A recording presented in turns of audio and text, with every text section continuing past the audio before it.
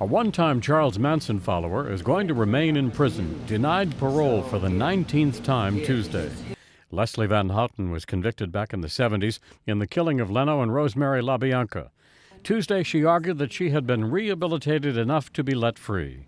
As a rehabilitated woman, I would like to state that the insight I have gained is not meant to excuse any of my acts. She added that she was only 19 at the time of the murders and under the influence of Charles Manson. I equally apologize to those whose cultures and ethnicities I offended by my ignorance and my arrogance.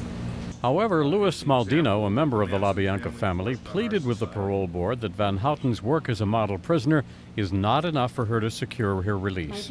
She has no true remorse, but is focused on being a model prisoner so she can gain her freedom. After more than three hours of evidence and testimony, the three person parole board agreed. Panels reviewed all the information received from the public and all the relevant information that was before us today, concluding that Ms. Van Houten is not yet suitable for parole because Ms. Van Houten currently poses an unreasonable risk of dangerousness if released from prison. Van Houten will be back for parole in three years. Her attorney hopes that next hearing will be moved up. She's disappointed, and I'm disappointed um, that uh, the board didn't see the changes that she's made today. That was hard to deal with. Van Houten was convicted of murder and conspiracy for her role in the 1969 murders.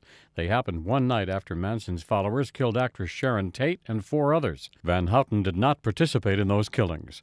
Brian Thomas, The Associated Press.